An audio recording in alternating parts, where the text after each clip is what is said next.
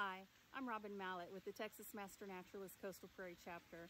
I'm here in my suburban Sugarland backyard in front of some of the native plants I've planted to attract pollinators, birds, and insects to my yard. That's because I am a huge bird nerd.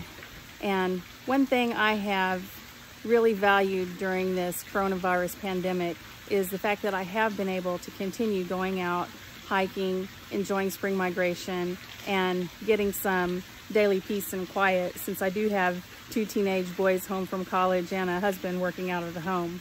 I'm sure you all can relate. Another hopeful thing that I've noticed when I've been out properly social distancing is a lot of people, a lot of families out enjoying nature, their parents doing science lessons and pointing out things to their children. And a lot of people have just really had their eyes open to the beauty of nature in our own community. And I think as master naturalists, we can build on that. I've even heard that sales of bird feeders and birding supplies and downloads of apps like eBird and the Audubon app have skyrocketed.